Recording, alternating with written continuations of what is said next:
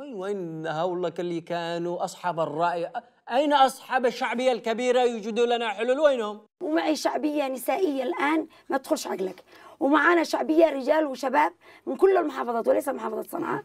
بانه لا مانع بأن يكون هناك طرف ثالث بديلا عنهم جميعا. وهو طرف النساء. وهي طرف النساء.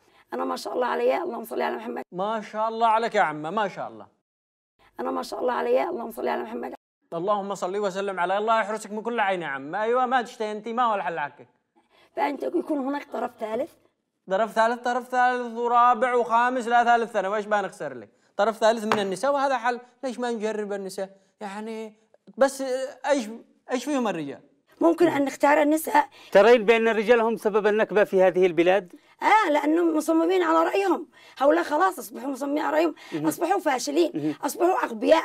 أصبحوا ما عاد يصلحوش يجلسوا في كرسي. فاشلين وأغبياء وما يصلحوش. بس الله المستعان عليكم. سوت وجوهنا أمام الحجة هذه.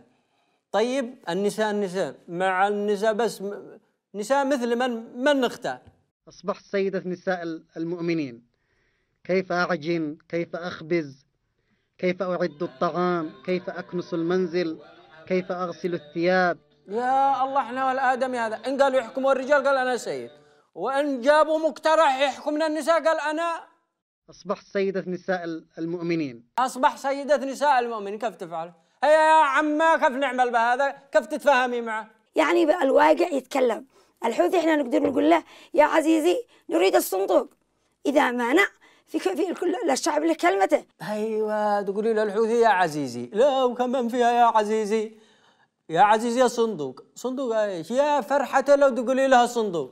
بيصرف لك من هذا الصناديق. هذا تخصصه. ما فيش معاهم إلا هذا الصناديق. أول شيء صندوق شخص وبعدين يصرفوا لك من هذا الصندوق. هي أنت بتقولي له يا عزيزي. خلي هذا عزيزي لوحدها ما تناسبش الحوثي ابدا.